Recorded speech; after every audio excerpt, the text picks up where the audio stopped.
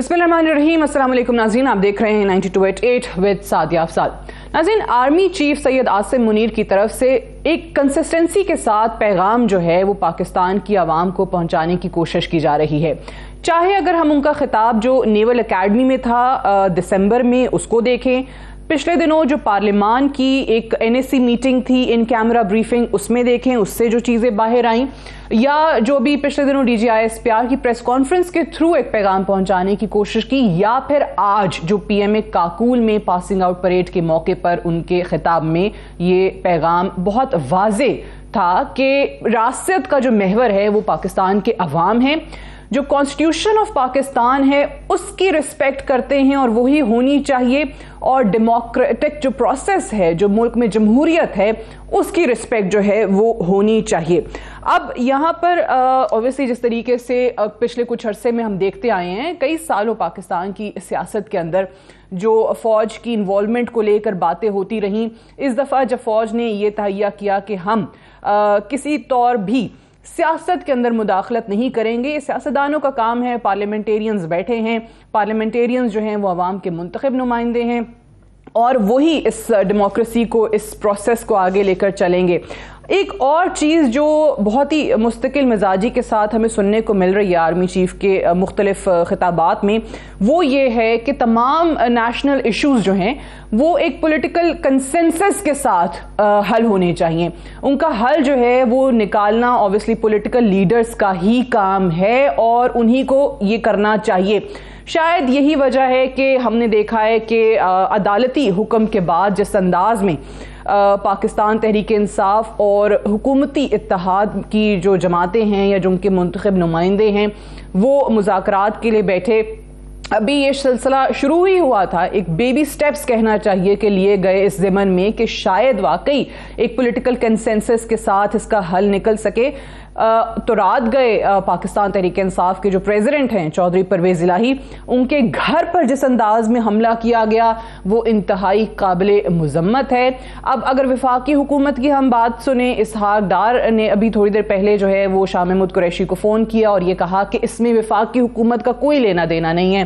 विफाकी हुकूमत बिल्कुल इससे लाताल्लुक है और ये जो कुछ भी किया गया है ये पंजाब की निगरान हुकूमत की तरफ़ से किया गया है। अब पंजाब की निगरान हुकूमत की अगर हम बात करें तो निगरान वज़ीर अला जो है, वो मुल्क में नहीं है। ख़बरें हैं आई जी पंजाब के हवाले से कि वो भी मुल्क में नहीं है। सो फिर ये किस तरीके से हुआ और क्या वाकई जो डायलॉग का प्रोसेस शुरू हुआ था, ये कहीं ना कहीं उसको डिरेल करने की एक कोशिश की गई है? अगर वाकई ऐसा है तो क्यों है? इन तमाम चीज़ों के हवाले से बात करेंगे और अहम चीज़ जो कि अदालत की तरफ़ से भी एक जो चौदह मई का पंजाब में इंतबात का हुक्म है वो अपनी जगह मौजूद है लेकिन उससे पहले अदालत ने यह कह दिया चीफ जस्टिस ने यह कह दिया कि तमाम जमातें बैठ के अगर वाकई एक तारीख पर किसी भी तारीख पर इतफाक कर लेती हैं सो वेल एंड गुड बहुत अच्छा हो जाएगा अगर वाकई कंसेंसस ज़मन में नज़र आता है। लेकिन इलेक्शन कमीशन की तरफ़ से जो इकदाम अभी लिए गए हैं बल्कि यूँ कहना चाहिए कि नहीं लिए जा रहे उससे चौदह मई का जो इलेक्शन है वो बिल्कुल ही आ, उसका इनका नामुमकिन हो गया है। वो इस तरीके से कि जो इलेक्शन कमीशन की तरफ़ से इंतबी तैयारियाँ थी वो रोक दी गई हैं। जो बैलेट पेपर्स छपने थे या फिर जो वोटर लिस्टें छपनी थी, वो तमाम मामला जो है वो रोक दिया गया है और फैसला किया गया है कि इनको प्रिंट नहीं किया जाएगा। सो ऐसा ही लग रहा है कि चौदह मई को तो किसी सूरत इंतबात नहीं हो रहे पंजाब के। इन तमाम चीज़ों के हवाले से हम बात करेंगे। हुमायूं अख्तर खान साहब हमारे साथ मौजूद हैं सीनियर रहनुमा पाकिस्तान तहरीक इंसाफ के। आ, सेनेटर मौला बख्शानियो साहब हमारे साथ मौजूद हैं सीनियर रहनुमा हैं पाकिस्तान पीपल्स पार्टी के। और आरिफ हमीद भट्टी साहब हमारे साथ मौजूद हैं सीनियर सहाफ़ी हैं और तजियाकार हैं। आप तीनों को प्रोग्राम में खुश आमदीद कहते हैं। भट्टी साहब पहले मैं आपके तजिए से आगाज़ करना चाहूँगी। कल मैं आपको आपकी ट्वीट्स भी देख रही थी रात को। आपने पता नहीं क्या घर के पीछे पार्क है। वो क्या माजरा है लाहौर में? ये आखिर अगर विफाकी हुकूमत कह रही है कि बिल्कुल ही हमारा कोई अमल दखल नहीं है। पंजाब के निगरान वज़ीर अला मौजूद नहीं है आईजी मौजूद नहीं है। तो फिर ये किसने किया? बिस्मिल्लाहिर्रहमानिर्रहीम। नंबर एक तो सादिया, मैं आपको ईमानदारी से राय दे रहा हूँ कि पाकिस्तान अब सियासत और सहाफत के काबल नहीं रहा। इधर दोनों चीज़ें नामुमकिन है। क्योंकि जब तक आप ना नज़र आने वाली कुतों की कठपुतली नहीं बनते आपकी मुश्किल इस कदर इजाफा होती है कि ज़िंदगी अजरन हो जाती है। ये जो कल परवेज लाई साहब के घर दावा बोला गया इसकी तीन दिन पहले प्लानिंग हुई। तीन दिन पहले अगर कोई इख्तलाफ करता है तो उसे कहना मेरे सामने आके करे। और फिर बताऊँगा कल होम सेक्रेटरी किसके पास बैठा था। वज़ीर आला साहब आई जी और सीसीपीओ लाहौर किस फ़्लाइट पर और किसने प्रोटोकॉल किया और सीट नंबर क्या था? ये क्या लोगों को बेवकूफ़ समझा हुआ? भाई ठीक है अंधी ताकत है जिसको मर्ज़ी अगवा कर लो जिसको मर्ज़ी उठा लो क्या प्रॉब्लम है? वो तो इमरान खान के बकौल उन पर एक सौ चौतालीस पर्चे हैं वफाकी कुत का उसके साथ भी कोई तलक नहीं। सैकड़ों लोग रोज़ाना लापता होते हैं मिलते ही नहीं वफाकी हुकूमत का उससे भी कोई तल्लक नहीं तो वफाकी हुकूमत समोसे बेचे जाके यूरोप में हम्म। या कहीं कतर में मिडल ईस्ट में अगर उसे ये भी नहीं पता कि उसके मतहत तो सूबे में जिसकी होम सेक्रेटरी ने कंट्रोल रूम बनाया था पीएम हाउस में कंट्रोल रूम बना हुआ था मिनिस्टर इंटीरियर के कंट्रोल रूम बना हुआ था हम्म। और सऊदी अरब हर दो मिनट बाद कॉल आ रही थी सिर्फ़ वो जो रेट पे था उसका मोबाइल ले से देखें किस किसने कॉल की है।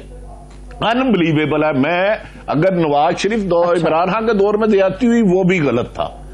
आज भी हुई है ये भी गलत ओके। लेकिन अब किस, ये किसने की? गलत किसने की है? हुकूमत की इन्वॉल्वमेंट आपको नज़र आ रही है? आ नहीं रही मैं कह रहा हूँ प्लानिंग हुई है। पाँच छह लोग बैठे थे तीन दिन पहले। मैं एक छोटा सा तीन दिन पहले आप जो खबर देता हूँ अलहमदुल्ला छह बजे से अच्छा। चौधरी परवेज लाई के घर बकायदा पेट्रोलिंग शुरू हो गई। मैं उसकी भी वीडियो आपको भेज देता हूँ। तो हम्म। बारह बजे रात रेट कर रहे हैं आप। वो अहम को यार परवेज लाई कोई उजड़ती हम्म। कातारा कच्चे के इलाके में आपसे बंदे नहीं पकड़े जाते। लाहौर में इस वक्त पैंतीस हज़ार इश्तियारी है। यार प्रोजेक्ट ने कहा भाग जाना था। मैं ये नहीं कहता उन्हें पकड़ो ना पकड़ो, ये हुकूमत जाने या हुकूमत का काम जाने। लेकिन सही है।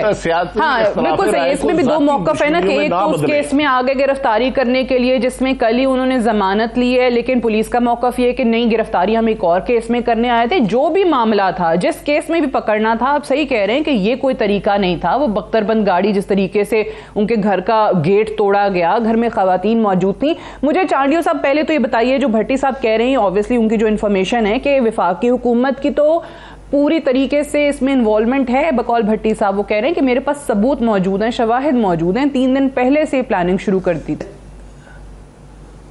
मैं भट्टी साहब की इज़्ज़त भी करता हूँ उनकी बातों को गलत नहीं कह सकता लेकिन मैं सबसे पहले मेरे नज़दीक बड़ी अहम बात हम्म। यह है कि जो आर्मी चीफ साहब की तरफ़ से कहा गया है या इदारे की तरफ़ से मैं बड़ी बड़ी अहमियत देता हूँ उस बात को बड़ी मुद्दतों के बाद हमने ये बयान सुना है कि हम मुदाखलत नहीं कर रहे हैं और फौज के सरबराह की जबान से आइन की पासदारी और आइन का एहतराम और हम्म। जमहूरत का तकदस और ता, ताकत का सर चश्मा आवाम को तस्लीम करना ये मैंने बड़ी मुद्दत के बाद सुना है।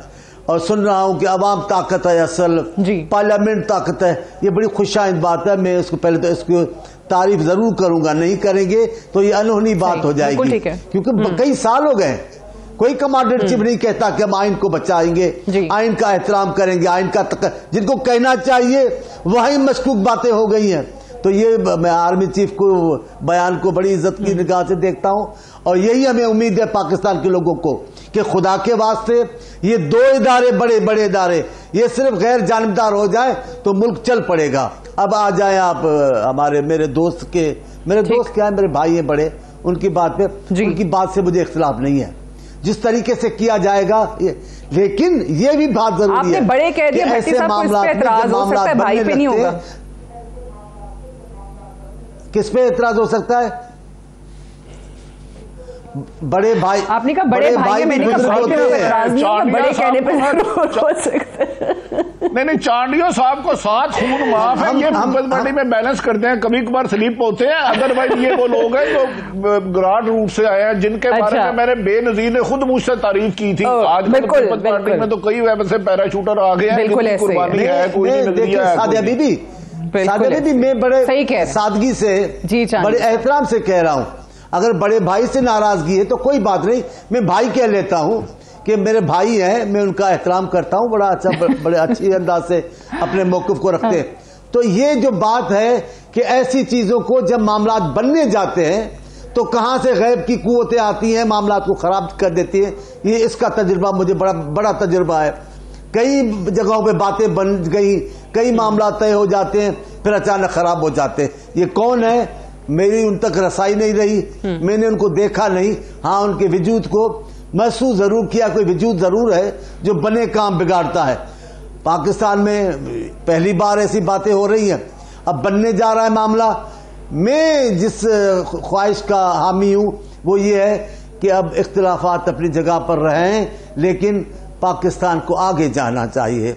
अब हमारी जमहूरियत को आगे जाना चाहिए। अब हमारे आइन के तहफ़ को मशकूक नहीं होना चाहिए।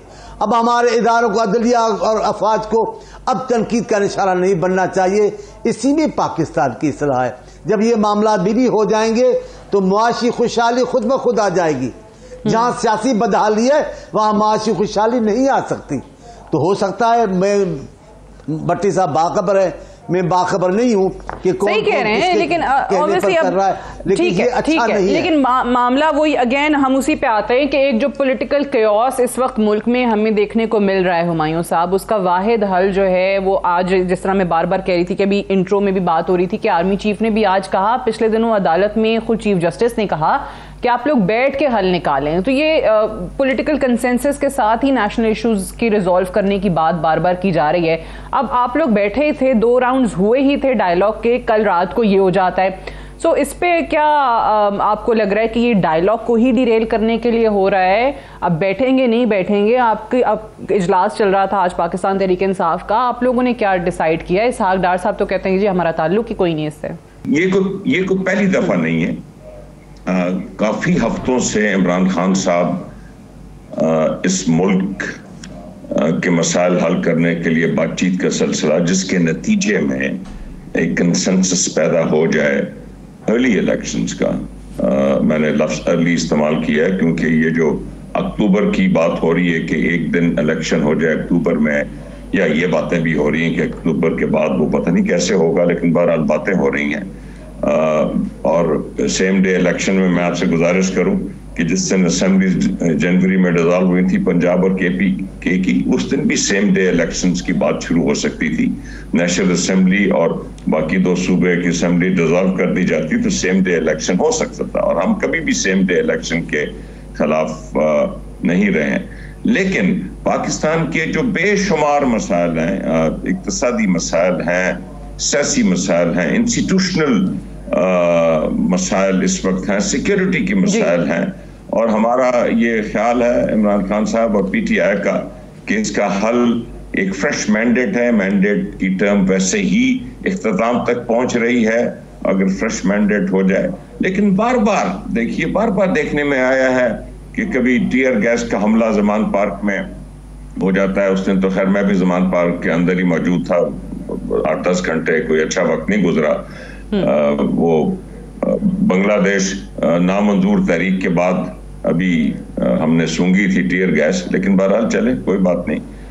उसके बाद इमरान खान साहब के घर बुलडोजर से बुलडोजर से दरवाजे तोड़ के और उनको अंदर खातून खाना अकेली थी और अंदर पुलिस दौड़ी फिर रही है।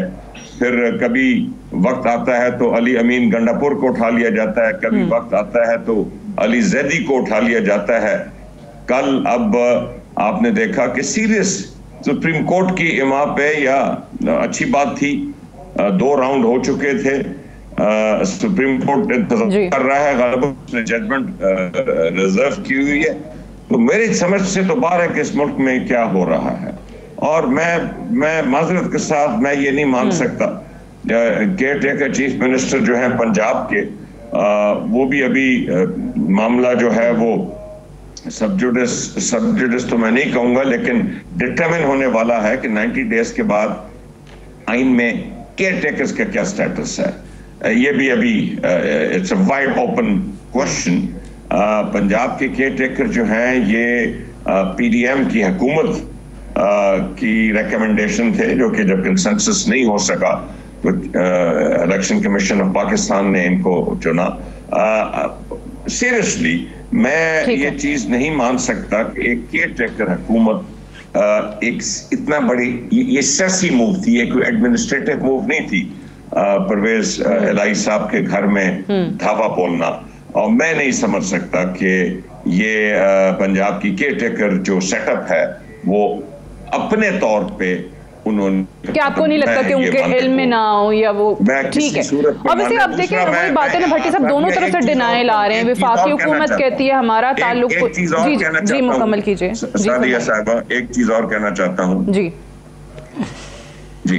देखिए ये जो ये जो रुझान शुरू हुआ है ना जी जो आज तक पाकिस्तान की पचहत्तर साल तारीख में नहीं हुआ था ना सिर्फ़ सियासतदान बल्कि किसी के घर में भी ठीक है अगर कोई तकरीबकार हो या कोई कातल हो वो ठीक है लेकिन सियासी मामला में किसी के घर बुलडोजरों से गेट तोड़ के और खातन अंदर हो उसमें घरों के अंदर पुलिस को नहीं दौड़ाया जाता। हम्म। ये अब दूसरा वाक्य हुआ है परवेज लाई के घर में।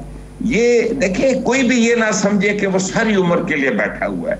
कोई भी सारी उम्र के लिए आ, इस हम्म। मुल्क में नहीं आ सकता। और ये जो रुझान आपने शुरू किया है ये ये अच्छा साबित नहीं होगा। आप देखेंगे, ये किसी के लिए भी अच्छा साबित नहीं होगा। Right right. भट्टी साहब ऑब्वियसली मोहसिन नकवी साहब इस वक्त कहते हैं कि जी लाइल में कि मैं तो सऊदी अरेबिया में हूँ।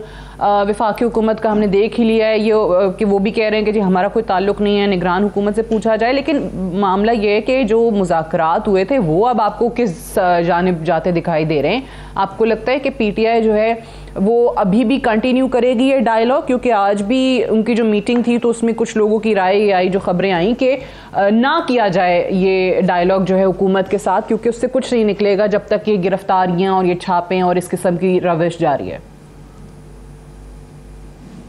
अच्छा सादिया एक तो मोला बख्श चांडियो मेरे लिए नहायत काबिल एहतराम है और हर गिज मैं नाराज़ नहीं हो सकता। हर गिज मेरे लिए हर आदमी काबिल हम्म। एहतराम है चाहे वो मुझे बुरा भी हम्म। कहे साफी का काम पार्टी बनना नहीं होता। और चांडियो सब देखे आप कह दें मेरा नाम सादिया अफजाल नहीं मैं कह दू मेरा नाम आरफ अमीद भट्टी नहीं। पंजाबी च कहते ना मर गया तो मुकर गया एक बराबर। दो दफ़ा वज़ीर आला रहा हो एक हम्म। शख्स। परवेज लाई साहब स्पीकर रहा हो। पीपल्स पार्टी की दौर में डिप्टी प्राइम मिनिस्टर रहा हो। एक एस एच ओ एक पुलिस अपनी मर्ज़ी से डू यू थिंक जा सकती है वहाँ? यार किन को ज़ाहिर बना रहे हो? शेर कल जट्ठा जब लाया गया उसको चालीस लोगों की चिट दी गई कि लोगों को पीटीए को आपने गिरफ़्तार करना है हर एक को? बकायदा बकायदा दी गई। हम्म। होम सेक्रेटरी कल कितनी देर आपते मेरा? पीएम हाउस कितनी देर आपते मेरा सऊदी अरब से आपते मेरा वो खुदारा ठीक है। आप धावे बोलो घरों पे हमले करो जो मर्ज़ी करो लेकिन इतनी अखलाकी जरूरतें रखो कि हाँ हमने गिरफ़्तार मुझे बताया इसका मकसद क्या है चले ठीक है। से। ये ये मकसद क्या है? इससे अचीव क्या करना चाहते मकसद भी बता दो। मकसद भी मकसद भी बता देता हूँ। इन्होंने किसी भी कीमत पर इलेक्शन नहीं करवाए इमरान खान की बदकिस्मतियाँ वो एक खोल में बंद हो चुके हैं चंद खुशामदियों की। सबक वज़ीर आज़म इमरान खान खोल में हम्म। बंद हो चुके हैं चंद खुशामदियों की वो सच भी नहीं सुनना चाहते। मकसद है इलेक्शन नहीं कराना नहीं कराना नहीं कराना। और ये आप कहते मकसद क्या है? इमरान खान तो जा रहे थे इस्लामाबाद पुलिस को पता था इमरान खान नहीं है तो घर में दरवाज़ा तोड़ना हम्म। शीशे तोड़ना क्या मकसद है? खौफ फैलाना दहशत फैलाना कि वो हमारे खिलाफ उठने वाली जबान काट दी जाएगी देखने वाली आँख निकाल दी जाएगी। परवेज लाई का भी। यही था। और मैंने गलती से सानिया मॉडल टाउन में ये नून लीग का एक माइंड सेट है। इसमें कोई माइंड करने की ज़रूरत नहीं है। सानिया मॉडल टाउन जो दो हज़ार चौदह में ताहिरुल कादरी के चौदह लोग शहीद हुए उसका मैं आई विटनेस हूँ। रात में बारह बजे गया अगले दिन बारह बजे तक रहा। उस वक्त भी ये मारने नहीं गए थे शहबाज साहब का हुक्म था मुबैना तौर पर कि इन्हें इबरत का निशान बनाओ। अभी ताहिर कादरी पाकिस्तान में नहीं थे। तो मैं उस वक्त के अफसर को हाथ जोड़ता रहा यार ना करना ये लोग मर जाएँगे। मैं कसम खाता हूँ तंजीला मेरे सामने दरूशरी पड़ते हुए उसको गोलियाँ मारी इन्होंने। रेजले कब चार घंटे जब हम्म। चादर अच्छा। औरतों को धक्को दो बख्तरबंद गढ़े से थोड़ा खौफ तो फैल गया। इनका काम शुरू से यही है। जो साफी इख्तलाफे रखता है उसको नौकरी से निकलवा दो कत्ल करवा दो। शहीद अरशद शरीफ का क्या कसूर था? हम्म। मुझे बताएँ चांडियो साहब मुझसे ज़्यादा साहब इलम है। डू यू थिंक के सबक वज़ीर अला कायम अली शाह के घर में कराची में बगैर हुकूमत वफाकी और सूबाई हुकूमत की मर्ज़ी के रेट हो सकता है?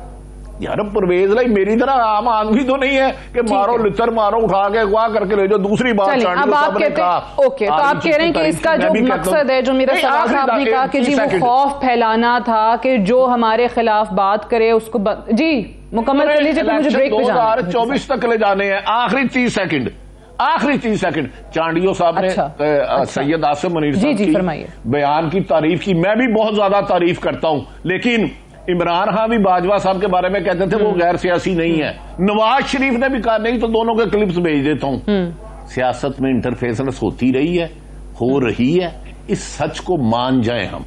अगर नहीं मानना तो हम्म। आज वक्त आप कल को साबित कर देगा। वक्त पहले भी मैं नवाज़ शरीफ का क्लिप भेज देता हूँ कमर जवेद बाजवा को नवाज़ शरीफ ने तैनात किया था आर्मी चीफ इमरान खान भी तारीफ़ करते रहे जब फौजी। एस्टेब्लिशमेंट एक जमात के साथ आ रहे है भट्टी साहब दूसरी तरफ़ बिल्कुल जाए तो- सही है कि ये होती रही है लेकिन इसमें बात यह है कि हमारे सियासतदान सियासी जमातें खुद ये मौके फराहम करते हैं।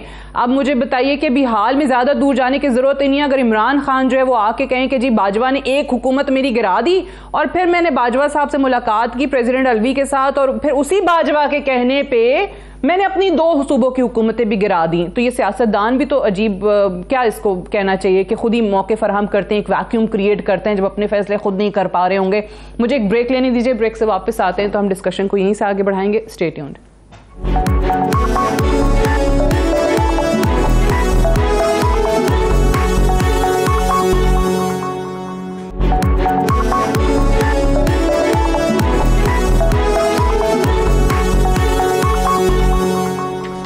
वेलकम बैक प्रोग्राम में एक बार फिर से खुश आमदीद। हुकूमत के मुजाकरात पाकिस्तान तहरीक इंसाफ के साथ जारी हैं। कल जब ये सेकेंड राउंड खत्म हुआ था तो दोनों अतराफ ने ये यकीन दिलाया कि हमारा फाइनल राउंड जो है वो मंगल को होगा और ज़रूर किसी न किसी नतीजे पर हम पहुँच जाएँगे।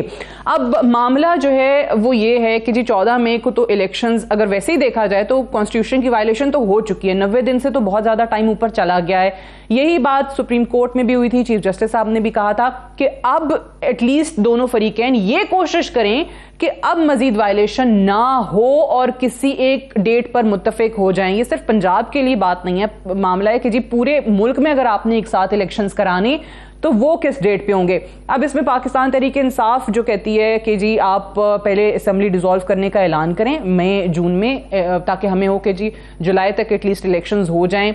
और जो पीडीएम है, वो ये चीज़ मानने को तैयार नहीं है। उनकी तरफ़ से बार बार कहा जा रहा है कि जी सितंबर, अक्टूबर में इंतबात होंगे और नवाज़ शरीफ साहब ने भी, ये इमरान खान साहब की पाकिस्तान तहरीक इंसाफ की इन डिमांड्स के हवाले से कहा कि इसका कोई सर पैर नहीं है। अब चांडियो साहब इन तमाम चीज़ों के साथ जब ये ये स्टेटमेंट्स आ रहे हो आपको लगता है कि ये डायलॉग जो। है वो कामयाब हो जाएँगे? ये कल वाला इंसिडेंट जिसकी हम बात करें कि अगर वाकई ये कोशिश है कि डायलॉग को सबोटाज किया जाए बट अदरवाइज़ भी जो स्टेटमेंट्स हैं कोई भी अगर- पीछे हटने को तैयार नहीं है। अगर, तो क्या एक डेट पर पूरे मुल्क कराने पे कोई इतफाक नज़र आता है? जी। अगर नीयत दुरुस्त है तो कोई इतना लंबा चौड़ा टाइम नहीं है थोड़े अरसे में भी हो सकता है लेकिन भट्टी साहब ने भी और हमायूं साहब ने भी एक बात की है। एक पल के लिए मैं उनकी बात ज़रूर करना चाहूँगा। भट्टी साहब ने कहा है ये कैसे मुमकिन है? कोई खान साहब भाग जाते जो उनको इसको इस अंदाज से पकड़े गए? मैं भट्टी साहब को कह रहा हूँ भट्टी साहब ये कोई नई बात नहीं है। पीपल्स पार्टी इस सूरत हाल को सालों साल बर्दाश्त करती हुई आई है। लाठियाँ गोलियाँ फांसियाँ ये सब पीपल्स पार्टी तशद गिरफ्तारियाँ जेल भरना ये सब हमने देखा है। जैसा हमारे साथ हुआ किसी पाकिस्तान की पार्टी के साथ नहीं हुआ। लेकिन हम ये नहीं चाहते। हम इस अमल को दोहराना नहीं चाहते। हम इस बाप को बंद करना चाहते हैं। जब जरदारी साहब सदर बने जब बेनजीर साहब अब, अब वज़ीर अजम बनी उस पूरे पीरियड में एक भी सियासी कैदी गिरफ़्तार नहीं था जेलों में। हम इस अमल को नहीं चलाना चाहते। लेकिन आप भी तो देखें। मैं आपसे पूछ रहा हूँ क्या आसदारी की बहन मफरूर हो जाती? अगर रातों रात उसको कराची से उठाकर रावलपिंडी के जेल में न डाला जाता तो क्या वो लेब मिल जाती? वो नेब की पेशियों पे खुद चली जाती हैं। मैं आपसे पूछना चाहता हूँ, क्या जरदारी साहब की बेटी अगर मिल, अपने वाले से अस्पताल में नहीं मिल सकती तो इसमें कौन सा आपने कयामत बना ली? कौन सा आपने कारनामा सर अंजाम दिया? आप बताएँ। ये मामला एक, कोई ना कोई एक साइड खत्म करेगी। तनकीद नहीं होगी। हमने खत्म की तरफा खत्म की। बेनजीर साहब वज़ीर जम बनी आसिफ साहब सदर बने। हमने एक तरफा बंद कर दी मामला कि अब इंतकामी कार्रवाई नहीं होनी। लेकिन आप खुद कर रहे थे अजीब गरीब नहीं है। भाई वो घर में बैठे हैं कहीं भाग तो नहीं जाते। बाबा वो दस्तूर उन्होंने खुद अख्तियार किया है और पाकिस्तान जैसी रियासत में जैसे आप बातचीत भी कर रहे हैं और हो क्या रहा है बीच में। पाकिस्तान की रियासत में ये अनोखी बात नहीं है। बातों को सबोटाज करना मामला को बिगाड़ देना मैं अक्सर कहता हूँ दोस्तों को सही है। यार ये हुकूमत और अपोजिशन का जब मामला होता है तो दोनों साइड पे एक आदमी दो आदमी ऐसे होते हैं जो मामला बनने नहीं देते। यहाँ भी है। लेकिन मैं आपको कहता हूँ ईमान डाला रहा है पाकिस्तान पीपल्स पार्टी की कारकुन के सामने कह रहा हम चाहते हैं इस माम इस मुल्क में सियासत आगे चले जमूरियत आगे चले। इंतकामी मामला बंद होने चाहिए। जो भी कुत इसमें मुलविस है जो सब बातों को सबोटाज करना चाहती है जो मुजाकरात के अमल को नुकसान पहुँचा चाहती उसकी और आप कह रहे हैं कि पाकिस्तान के लेकिन होता उस पर तनकीद करके सियासत करोगे? हम्म, हम्म। अगर सियासत करेंगे उस पर अभी इसी को पकड़ के बैठ जाएँगे तो मामला आगे नहीं बढ़ेंगे। जनाब ये हो गया आप इसको छोड़ें। आप आगे बढ़ें। और ये भी ये ये कहना कि बाजवा की तरह, वो बाजवा की बात नहीं है, मौजूदा चीफ, आर्मी स्टाफ की। बाजवा ने कभी नहीं कहा कि पाकिस्तान की ताकत अवाम है। कभी नहीं कहा कि हम हर हाल में आइन का तकदस करेंगे। कभी नहीं इन्होंने कहा कि पार्लियामेंट का एहतराम है। कभी वो पार्लियामेंट में आकर पार्लियामेंट के सामने झुकने के लिए तैयार नहीं थे।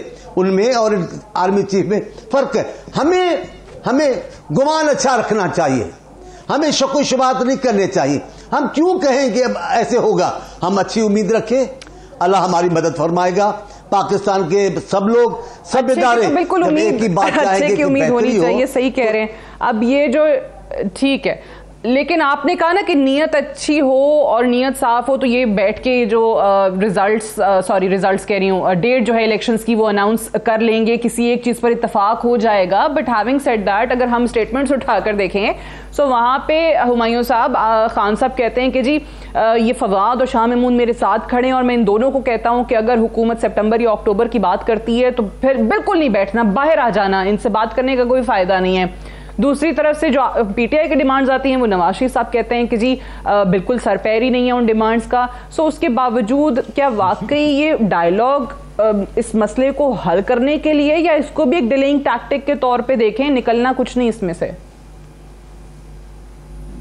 जी सादिया पहले तो मैं चांडियो साहब जिनका मैं एहतराम करता हूँ एक सियासी वर्कर हैं और यू नो ग्रास रूट से चढ़े हुए हैं। काबिल एहतराम है।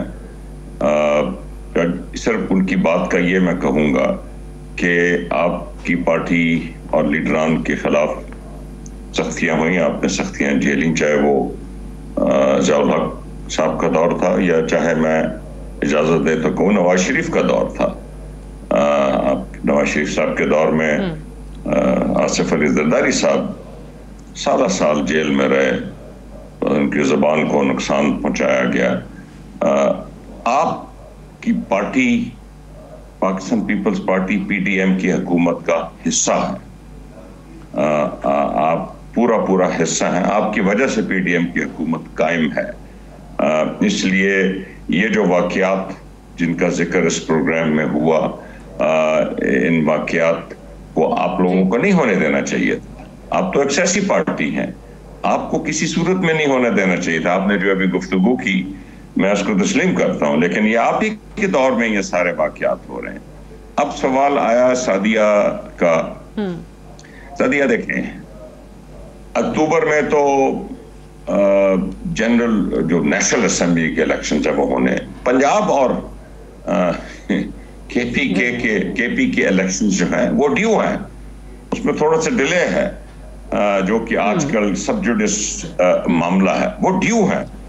अब इमरान खान साहब या कोई वो वो तो एक फ्लेक्सिबिलिटी शो कर रहे हैं कि भाई अगर यू नो जुलाई अगस्त से आगे बात हुई तो उठ के आ जाना। अगर मुझसे पूछे तो मैं भी बिल्कुल। यही कहूँगा। फ्लेक्सिबिलिटी फिर किस बात की? फिर हम किस लिए बैठे हुए जाके? दूसरी तरफ़ आ, मैं ये भी गुजारिश करूँ कि मैं बार बार आप इलेक्ट्रॉनिक मीडिया में कहता आ रहा हूँ कि हमें समझ नहीं आ रही कि इस पीडीएम की हुकूमत के अंदर मुख्तलिफ़ आवाज़ें हैं। पीपल पार्टी कुछ चीज़ों में कुछ और सोच रखती है ए एन पी कुछ और रखती है मौलाना साहब कुछ और रखते हैं। और within P M L N अब आपने जो कहा कि नवाज़ शरीफ साहब ने क्या कहा है within P M L N मुख्तलिफ़ आवाज़ें हैं। प्राइम मिनिस्टर साहब कुछ कह रहे हैं। नवाज़ शरीफ साहब कुछ कह रहे हैं शायद खा खान अब्बासी साहब कुछ और कह रहे हैं। ये एक डिलेमा है ये वाकई एक डिलेमा है। पीटीआई की तो एक आवाज़ है सिर्फ़। आ, अब अगर आपने बातचीत करनी है तो एक सबजुडिस मामला एक ऑर्डर इन द फ़ील्ड है। मे फोर्टीन की इलेक्शन का वो इलेक्शन कमीशन करा सकता है नहीं करा सकता वो तो अब पता चलेगा।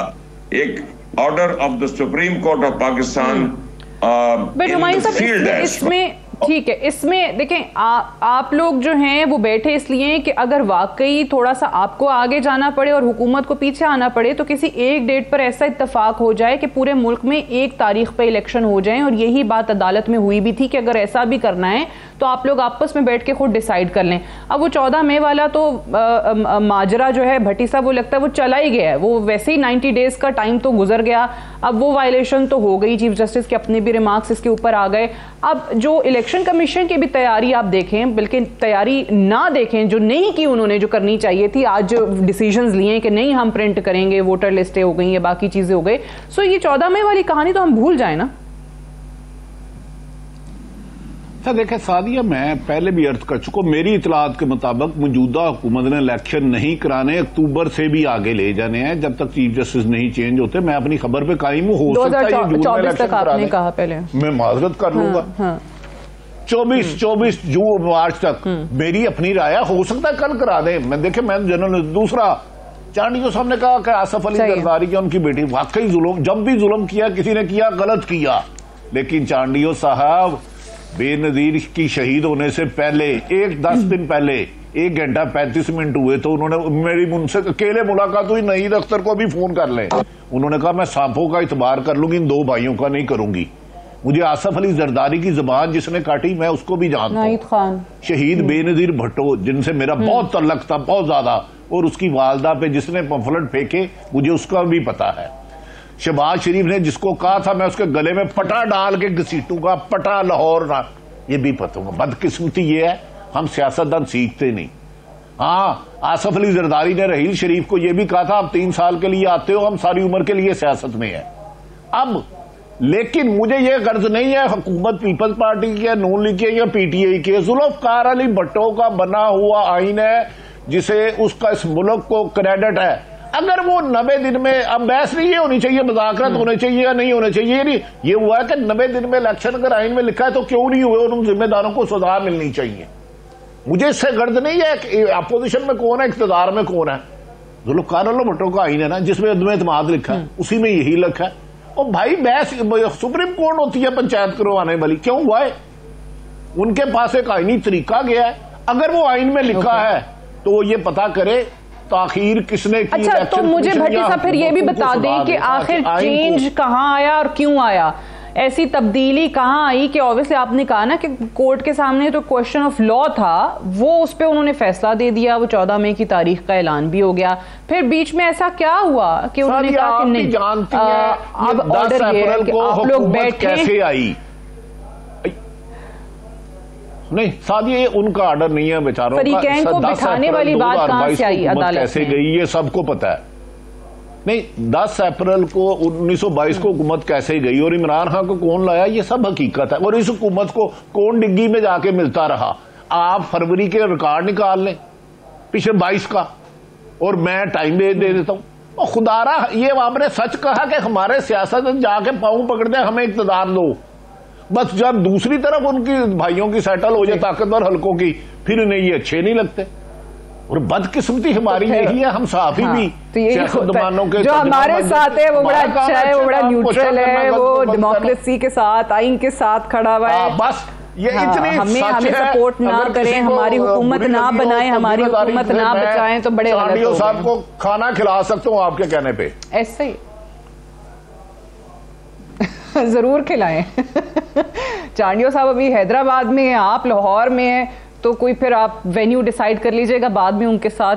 मुझे एक एक एक और चीज़ पे भी बात करनी है और वो भी बड़ा अनफॉर्चुनेट है कि हमारे यहाँ पाकिस्तान की सियासत में एक ही जो नया कल्चर शुरू हो गया है ऑडियो लीक्स का वीडियो लीक्स का, फिर उसके बाद, पाकिस्तान में ये तो था ही पहले इलेक्शंस में, सियासत में कि आप किस तरीके से टिकट्स जो हैं वो लोगों को दी जा रही हैं। ब्रेक ले लें पहले से वापस आके फिर आप ये बात कर लीजिएगा। मैंने यहाँ पे जो ऑडियो लीक्स और वीडियो लीक्स का ज़िक्र किया है तो उसमें जो आज एक मुबैना ऑडियो आई है सामने वो है सा, सबक चीफ जस्टिस साकिब निसार के साहबजादे की।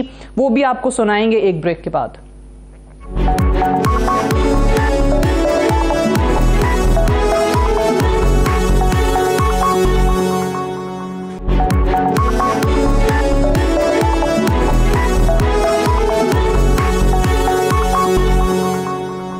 वेलकम बैक प्रोग्राम में एक बार फिर से खुश आमदीद। अभी जो पंजाब में सियासी जमातों की तरफ़ से टिकटों की तकसीम हुई है, उस पर पाकिस्तान तहरीक इंसाफ के एक पंजाब असम्बली से 137 पीपी 137 के उम्मीदवार अबू जर।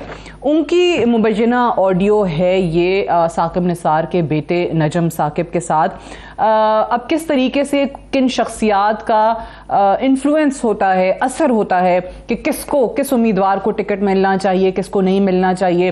कभी हम पैसे की लेन देन का सुनते हैं, कभी अदरवाइज़ जो है वो चीज़ें सामने आती हैं। तो ये एक साहब मियाँ उजैर थे और एक P P one three seven के उम्मीदवार जो हैं वो अबूजर जिनकी बात हो रही थी नजम साकिब साहब से। साकिब निसार सबक चीफ जस्टिस के जो साहबजादे हैं, एक में वो कह रहे हैं कि जी, एक बीस से नीचे की बात ना करना, वो एक बीस ज़ाहिर है। क्या हो सकता है? एंड दूसरा अबू जर को कह रहे थे कि जी, बाबा ने बहुत मेहनत की है तो आप ये टिकट वगैरह जमा कराएँ और उसके बाद आके जो है वो उनसे मिल लें, उनका शुक्रिया वक्रिया जो है वो अदा कर दें।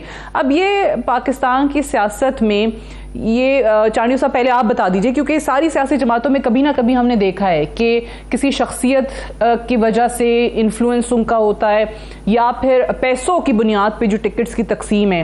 ये पाकिस्तान की सियासत में जब तक खुद पॉलिटिकल लीडरशिप्स नहीं चाहेंगी जब तक खुद नहीं देखेंगी कि कितने डिजर्विंग लोगों को टिकट्स दे रहे हैं, और अभी हमने पाकिस्तान तहरीक इंसाफ की तरफ़ से तो खैर पंजाब में इशू देखा भी है, कुछ लोगों के एतराज़ा भी सामने आए कि उनको पंजाब में टिकट नहीं मिला। मैं आपके सवाल का जवाब एक मिनट का है मेरा को तफसील में नहीं उनको जानता लेकिन उनसे पहले एक मिनट के लिए मैं शुक्रिया अदा करना चाहता हूँ भट्टी साहब का और हमायूं अख्तर साहब का। इन दोनों को बड़ी परेशानी हुई है इनको तकलीफ़ अच्छा। दिल्ली सदमा पहुँचा है कि पीपल्स पार्टी ने हम नून लीग से बात कर ली है। ये बड़ा सदमे की बात है जिन्होंने गले काटने की बात की जबान की बात की तस्वीरों की बात की ये की उनसे पीपल्स पार्टी बात कर रही है। इतना बड़ा गजब और ये अफसोस हो रहा है, भट्टी साहब को और हमायूं अख्तर साहब को। इसलिए मैं मुझे उनका एहसास है कि उनको, उनका दर्द बिल्कुल दुरुस्त है। लेकिन जब कौमों की बका का सवाल आता है तो जाति दुश्मनियों को भूल जाया जाता है। कहा जापान की दुश्मनी में चांगकाई शेख और माऊजी तक ने बात की? हम आपस में नहीं बात कर सकते। आप इन इख्तलाफात को हवा देकर मामला ठंडा करना चाहते हैं या और आग लगाना चाहते हैं? क्या बड़ी बात हो गई? मैं आपको बताता हूँ, आपको पता है, भट्टी साहब को। हमायूं साहब को नहीं होगा, आपको पता है। बेनजीर साहब ने उन लोगों से भी बात की एमआरडी के लिए, जिन्होंने भुट्टो साहब की फांसी का मुतालबा किया।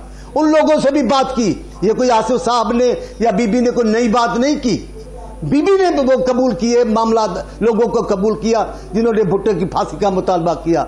जब मुल्कों की सलामती का मामला आ जाए जब कौमों के बका का सवाल आ जाए तो अपने इख्तलाफात भुला जाते हैं। आप याद करें बिलावल साहब को कैसे उन्होंने बीबी पहली पहली मीटिंग में कहा कि इंतकाम जमहूरियत जो है वो बेहतरीन इंतकाम है।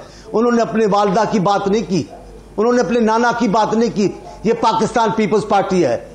हम इख्तलाफात भी रखते हैं, हम दुश्मनियाँ भी रखते हैं। लेकिन जहाँ पाकिस्तान के अवाम का मामला आ जाए, जहाँ पाकिस्तान के बका का सवाल आ जाए, वहाँ क्या इख्तलाफात, वहाँ क्या दुश्मनियाँ बच जाएँ, सलामत रहें, कौम रहे, पाकिस्तान रहे, निबड़ लेंगे, फिर बात कर लेंगे, कौन सी बड़ी बात हो गई, क्या बात हो गई। आप, और कोई इशू ही नहीं है। अजीब बिल आसिफ साहब को घसीटना चाहते थे वो यार छोड़ो इस बातों को। ओके। उससे बड़ी बड़ी बातें हो चुकी है। हमने सुना हमें याद है। सादिया में हमें याद है जरा जरा। तीन दफ़ा अबे आपको याद है या नहीं जवाब दे देने दे मैं बड़ी देर खामोश रहा हूँ। जी जी ओ यार अब मैं मुझे बात करने हाँ साहब जरा मुझे चुपते कोई हो दुख नहीं है तो जब्बे तो डाले, हैं। आपको किसने गलतफहमी पैदा हमारी भी तो सुने। है कि मुझे आप- आप- आप आप इतने क्यों जाए, उतावले हो रहे हैं? ने कहा था हम आपकी सुनते, आप भी सुने ना। है, मैंने कहा था आप सुने तो सही। मुझे क्यों दुख होगा आप तो लोगों गुस्से को हो गए। सुनने की आप आदत तो ही गुस्से नहीं हो गए। आप टेम्परामेंट लूज कर जाते हैं आप तो गुस्से हो गए हो आप इतना जाहो जलाल तो बात करने में क्या है आप तो साफ़ ही है, भाई मैं है झूठ कह रहा हूँ। आपने तो आपको तो हौसला बड़ा होता है। भाई कमाल आपको तो बड़ा हौसला होता है बात- बात हूँ सुनने का चले एक एक करके बात कर लेते हैं अच्छा दोनों का मौकफ तो आ गया है।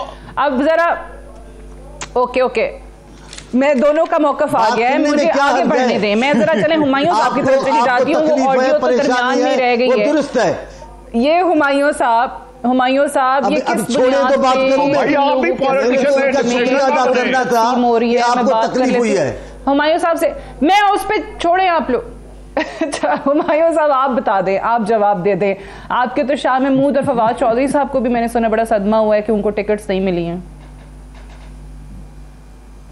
देखिए सादिया जब अल्लाह की मेहरबानी से एक पॉलिटिकल पार्टी की मकबूलियत पीक पे होती है तो बहुत से टिकट के ख्वाहिशमंद होते हैं लेकिन ये जो हमारी टॉप लीडरशिप की पंजाब की टिकट्स थे वो एक और वजह थी। पीटीआई को चेयरमैन साहब ने जैसे कहा ये सारे लीडर्स अहम पौधों पे थे वफाक में और चेयरमैन साहब ने जैसे फरमाया कि इनकी ज़्यादा ज़रूरत हमें वफाक में है। बाकी मैं समझता हूँ कि ये जो टिकट्स अवार्ड हुए हैं ये two hundred and ninety seven tickets में एहतजाज प्रोपोर्शनली मेरी नज़र में कम हुए हैं। हाँ हमेशा सियासी पार्टी एक पूरा प्रोसेस अख्तियार करती हैं और कुछ चीज़ें सही नहीं। अब जो चीज़ जो अगर टिकट गलत अवार्ड हुआ है तो वो डिटरमिन कर लिया जाता है जो कैंडिडेट है उसका फ़ील्ड में पोजीशन देखी जाती है कि हाँ भाई ये हफ़्ता दो हफ़्ते तीन हफ़्ते उसकी क्या उसके हल्के में हो रहा है। ठीक है। तो यस गलतियाँ हो जाती है कभी कोई पार्टी चलिए सही है लेकिन ऑब्वियसली ये नहीं बिल्कुल ठीक है लेकिन अभी तो अभी तो जो मुबजना ऑडियो मेरे पास टाइम थोड़ा है लास्ट कमेंट जरा भट्टी साहब आप इस पे दे दीजिए कि साकिब निसार साहब और उनकी फैमिली जो है अभी भी वो इसमें अपना असर रसूख इस्तेमाल कर रहे हैं। देखिए बदकिस्मती है। सादिया मैंने पहले ही अर्ज़ किया कि इमरान खान एक होल में बंद है और टिकटें मेरी भी इतला के मुताबिक गलत दी गई हैं और इमरान खान दो तीन लोगों के बड़े गिरफ्त में है। और जी। ये शिकायतें बहुत आ रही हैं पैसों वाली अब सही। ये तरीके इंसाफ जाने उनका काम जाने शुक्र है चांडियो सब तरीके इंसाफ पे नहीं नहीं तो मेरे से साथ लड़ पड़ते और भाई हमारा काम हिस्ट्री बताना होता निशानदेही करना होता है हमारी तरफ से जो मर्जी इताद करो या लड़ो ਕਹਿੰਦੇ ਨੇ ਇਹ ਜਾਣੇ ਕਹਿੰਦਾ ਕ- ਕਿਸੇ ਨੇ ਕਹਾ ਟੱਗਿਆ ਵੇ ਟੱਗਿਆ ਤੈਨੂੰ ਚੋਰ ਲੈ ਚਲੇ ਉਹਨੇ ਕਿਹਾ ਚੌਧਰੀਆਂ ਕੋਲ ਵੀ ਪੱਠੇ ਖਾਣੇ ਸਾ ਤੇ ਚੋਰਾਂ ਕੋਲ ਵੀ ਪੱਠੇ ਖਾਣੇ ਨੇ हमने साबित करनी है मेरा ख्याल है चार्डियो साहब को पानी पिलाएं अच्छा सा ठंडा ठंडा आपने तो आपने तो इनको खाना खिलाना था ना तो आप इनको जरा कॉल करें और फिर वेन्यू डिसाइड करें इनके साथ। I have to wind up है टाइम खत्म हो गया। बहुत बहुत शुक्रिया भट्टी साहब आपका हुमायूं अख्तर साहब आपका और चांडियो साहब आपका प्रोग्राम में ज्वाइन करने के लिए। That's all for tonight I see tomorrow इंशाल्लाह इजाज़त दीजिए। खुदा हाफिज।